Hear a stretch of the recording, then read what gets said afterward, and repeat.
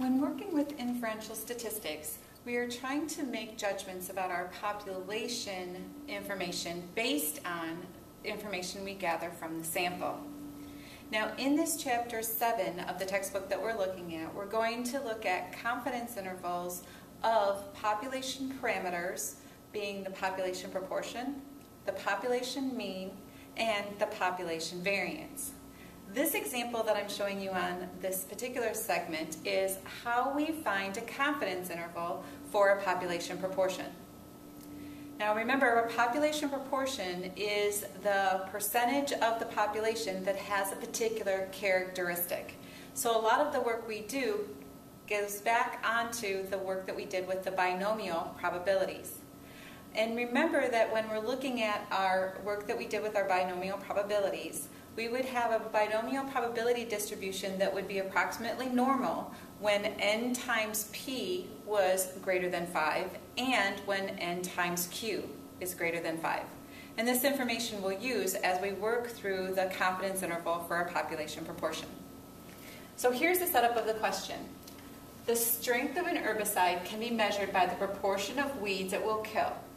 To determine this proportion for a specific herbicide, the herbicide was applied to 250 plants and 215 of them died. Now at this point they're just giving us the setup, but we don't know exactly what it is that they want us to do yet. Reading the questions helps us determine whether this is a probability question, whether it's a confidence interval question, whether it's a sample size question, or maybe whether it is a hypothesis testing question that will come later on down the road. So part A of the question says, let P be the population proportion of weeds that the herbicide will kill.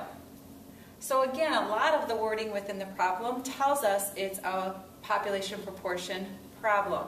We have the population proportion symbol, and also when you're applying the herbicide to a plant, the plant will either die or it won't. So you have that success as opposed to failure. You have the repeated number of trials. We're trying this on 250 plants. And we're looking at a specific thing happening, how many successes we have out of how many trials. So we have P be the population proportion of weeds that the herbicide will kill. Find a point estimate, P hat, for the um, proportion P. Now, P hat is our sample proportion out of the specific plants that we test this on and P is the population proportion.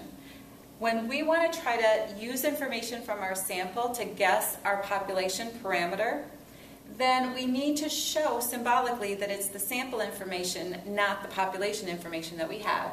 And with proportions, we put this hat over top for a sample proportion, and the P without the hat is talking about the population proportion. Now, a point estimate is just a one number guess at the parameter using sample information.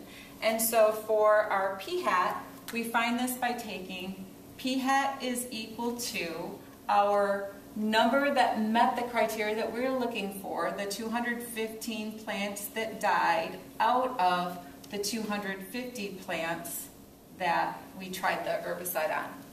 So that is our p hat, just our point estimate for it. And this is equal to 0.86 when you divide it out. This one's a terminating decimal, so I got the exact value for it.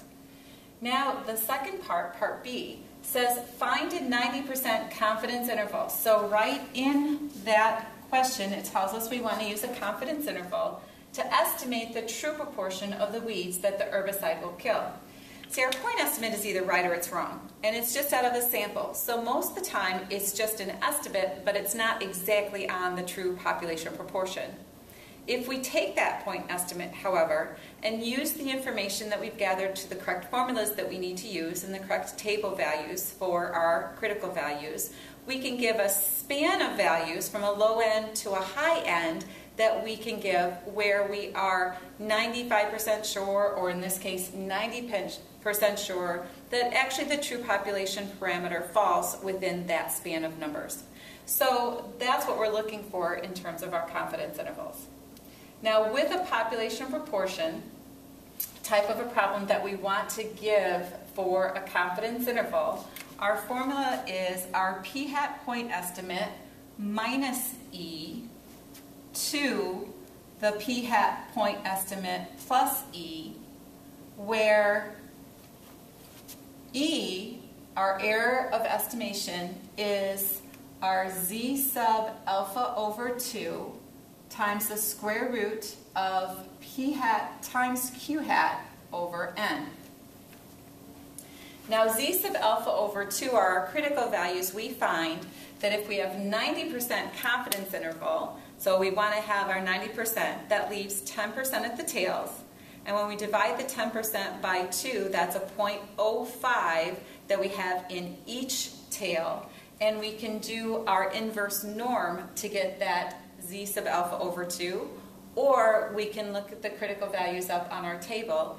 Either way, for a 90% confidence interval, our z sub alpha over 2 is going to be 1.645. And again, you can get it from the inverse norm or you can get it from your tables. From the earlier part, our p hat is the 0.86. And q hat, remember, we get by taking 1 minus p hat. So if I take 1 and subtract 0.86, I get 0.14 for our q hat. And then n is the number of trials, and for this our n is 250. We're going to calculate that off to the side, and then we'll form our confidence interval. So E is equal to our 1.645 for our 90% confidence interval using the standard normal curve times the square root of p hat is 0.86 times q hat, which is 0.14, divided by n, which for this problem is 250. So working this out on our calculator, E is approximately equal to 0.036. And so we want to take our p hat, our 0.86, and subtract our E, 0.036, and then to